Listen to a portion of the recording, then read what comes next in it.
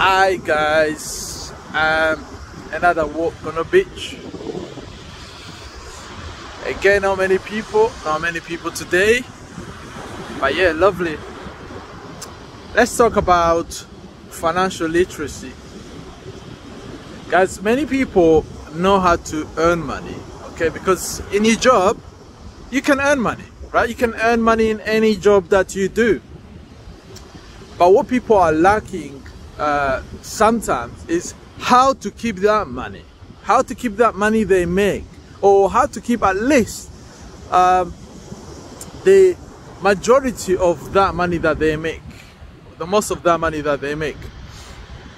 What happens is people tend to spend more than they earn, and you find yourself that you still have more month left than money left right? So, do you find yourself in that situation? If you are, I can help you, and it doesn't. You don't. You know, it don't require. It just require a little bit of discipline, some of the steps, some of the rules that you need to learn, right? And I have learned this in the last four years. Um, and it has changed my life it is it doesn't matter. It does you know it's not necessarily mean you have to earn so much right? Because you can be in a better financial situation and as a cleaner or as an average worker with a discipline than someone who's a CEO in a corporate company deemed to be successful in outside world but it's all debt right? So I'm just gonna give you one tip for free, right? One tip for free. You don't have to pay me for that. One tip for free.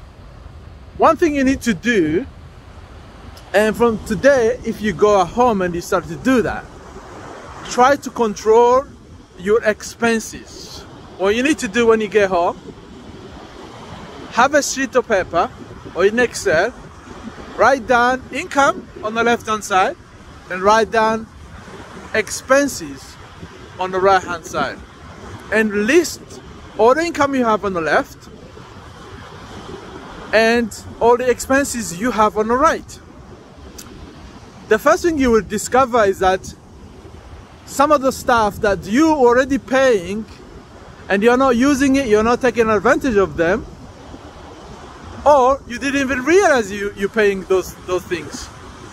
And then your second task will be to cut down those stuff all right? Start to cut down those things. Okay? So and now your next step I will explain it to you in the next video right? So the next step I'll explain it once you've done the exercise I will explain the next step in the next video. Now I'm just gonna go to enjoy these waves and enjoy the breeze. Have a blessed day.